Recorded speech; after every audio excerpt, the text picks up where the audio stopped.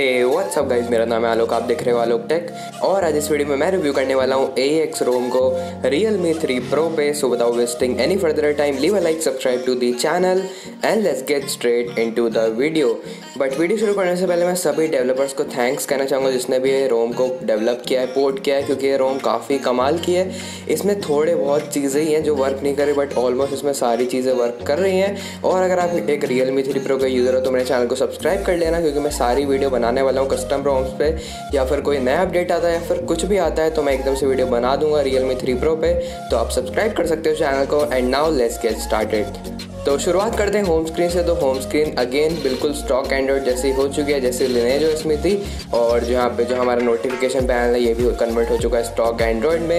यहाँ पे आपको गेमिंग मोड में देखने को मिल जाता है, जिससे आपको इनहेंस्ड एफ़ वगैरह देखने को मिल जाएँगे। एडिट के आइकन में भी आपको काफ़ी सारी चीज़ें मिल जाती है, जैसे एम्बियन डिस्प्ले हो गया साउंड सर्च हो गया कंपस हो गया एसेंट कलर्स हो गए, और काफ़ी सारी चीज़ें मतलब यहाँ पर ऐड कर दिया डेवलपर्स ने। तो इसमें कस्टमाइजेशन की आपको बिल्कुल भी ऐसा नहीं लगेगा कि कुछ भी कमी है। तो बहुत ही ज़्यादा अच्छी तरीके से कस्टमाइजेबल कर सक कस्टमाइज कर सकते हो आप इस रोम को। अगेन जो कैमरा ऐप है, वो इसमें नॉर्मली जो आती है, वो बेसिकली अच्छी नहीं है इतनी तो मैं आपको रिकमेंड करूँगा कि आप गूगल कैमरा को इंस्टॉल करके, जो आपका latest Google camera Realme three pro के लिए तो आप इस वाले गूगल कैमरे को यूज़ कर सकते हो। ये ऑलमोस्ट स्टेबल है कभी कभी सही से वर्क नहीं करता but most of the time सही से वर्क करता है।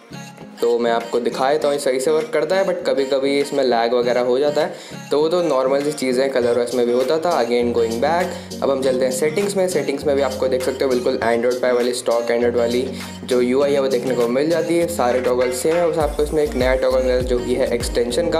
तो एक्सटेंशन है बेसिकली इस रोम का एक काफ़ी बढ़िया फीचर है, क्योंकि इसमें काफ़ी सारे कस्टमाइजेबल की चीज़ें मिल जाती है, जैसे स्टेटस बार हो गया नोटिफिकेशन पैनल हो गया।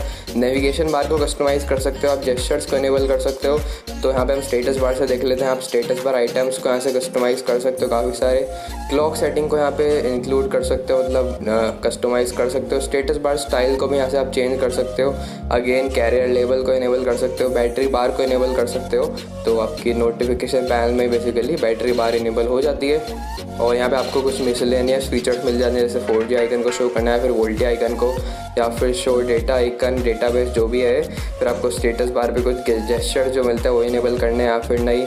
अगेन गोइंग बैक यहाँ पे आपको नोटिफिकेशन पैनल में और भी काफ़ी सारी चीज़ें देखने को मिल जाती हैं, जैसे ब्राइटनेस स्लाइडर हो गया क्यू एस फूटर हो गया, काफ़ी सारी चीज़ें पुल डाउन हो गया, एकदम से आपकी जो नोटिफिकेशन पैनल है, वो टॉप पे एक पुल डाउन हो जाएगी।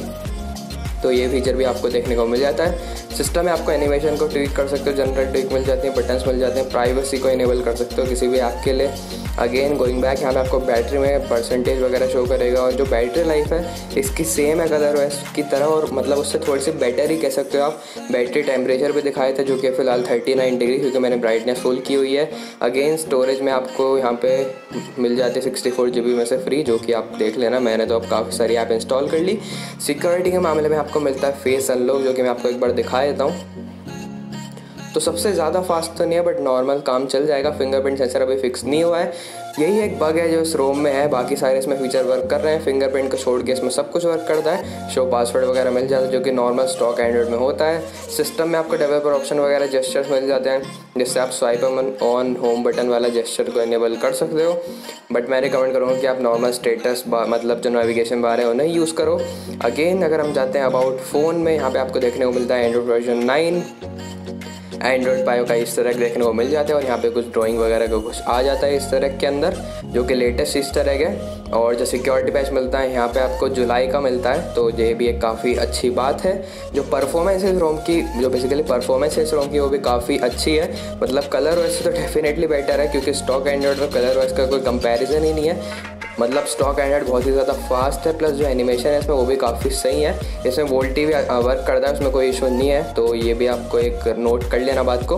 अब बात करते हैं पबजी की, क्योंकि बहुत सारे लोग पबजी खेलते हैं तो उन्हें थोड़ी दिक्कत आ सकती है इस रोम में, क्योंकि इस रोम में आपको FPS इशू देखने को मिल जाता है। मतलब कभी कभी एफ़ पी एस ऊपर नीचे चले जाते हैं, जैसे आपको लैग वगैरह थोड़ा देखने को मिल जाता है प्लस नेविगेशन जेस्टर्स जो होते हैं वो सही से पबजी के साथ वो नहीं कर पाते तो थोड़ी दिक्कत आ सकती है। प्लस स्टेटस बार जो होती है टॉप की ब्लैक हो जाती है पबजी में तो मतलब फुल स्क्रीन वाला एक्सपीरियंस आपको देखने को नहीं मिलेगा। बाकी सारे फीचर इसमें सेम है मतलब कैमरा वगैरह तो आप डाल ही लोगे, अलग से वो अच्छा हो ही जाएगा। बाकी और कोई इसमें ऐसा मतलब स्पेशल फीचर नहीं है कस्टमाइजेशन के अलावा। पूरा प्योर स्टॉक एंड्रॉइड है परफॉर्मेंस है। यहाँ पे आपको जो रिकॉर्डर मिलता है, सब स्क्रीन रिकॉर्ड वगैरह भी कर सकते हो। बस जो बग है वो इसमें फिंगरप्रिंट और एक दो छोटे मोटे स्टेबिलिटी के।